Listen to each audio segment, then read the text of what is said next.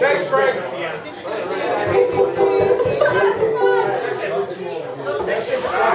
Hi. All right.